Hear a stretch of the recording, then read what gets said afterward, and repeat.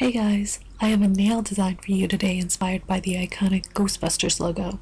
It's a fun little design that you can sport for Halloween or year round if you're a fan.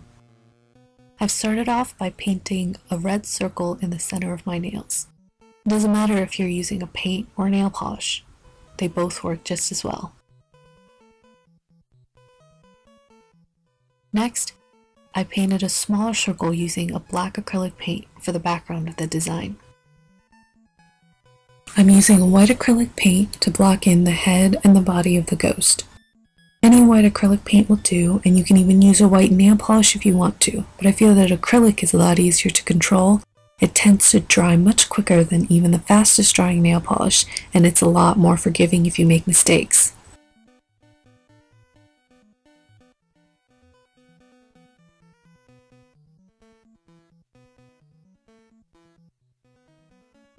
After the body was done, I painted the two arms with small hands on the side of the torso that reached out a little further than the red circle in the back.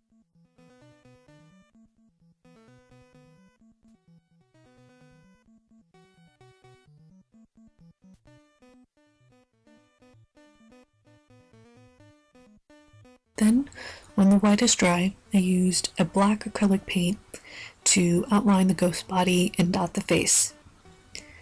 This part does take a bit of practice and requires a small brush and a steady hand, so try to practice beforehand.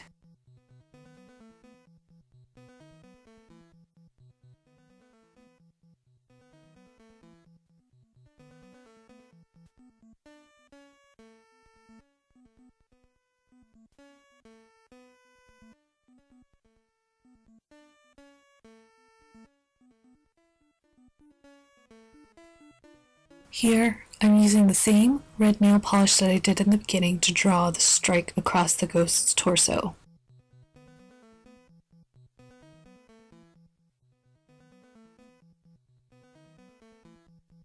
I decided later that the yellow-green base color that I used was a little flat on the nails, so I added some more dark green glitter polish around the nails for a gradient effect.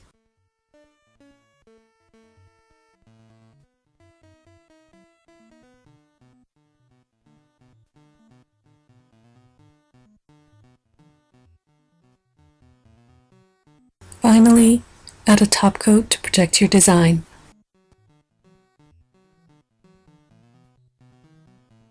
And we're done. Thanks for watching this video. Hope you enjoyed.